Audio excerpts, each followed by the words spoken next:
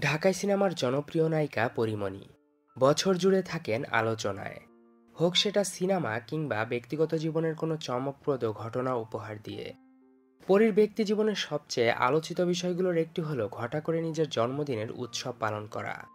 এই অনুষ্ঠানকে ঘিরে দিন কয়েক আগ থেকেই করেন নানান পরিকল্পনা।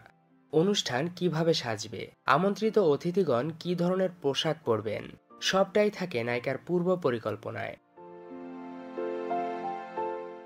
চব্বিশ অক্টোবর তিরিশে পা রেখেছেন পরিমণি।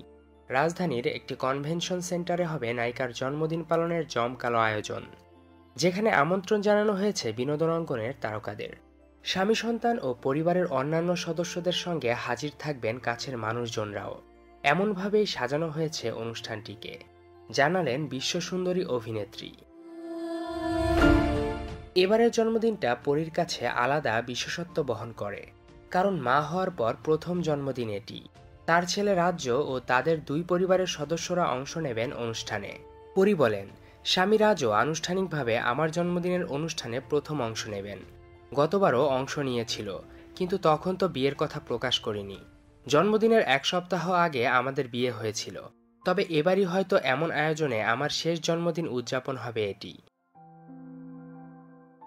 জন্মদিনের উৎসবে বড় কিছু চমক উপহার দেওয়া হবে পরিমণির পক্ষ থেকে।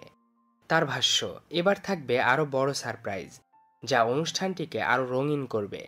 আমার আগের কোনো জন্মদিনে এমন সারপ্রাইজ অতিথিরা দেখেননি। এখনই বলছি না, তাহলে মজা থাকবে না।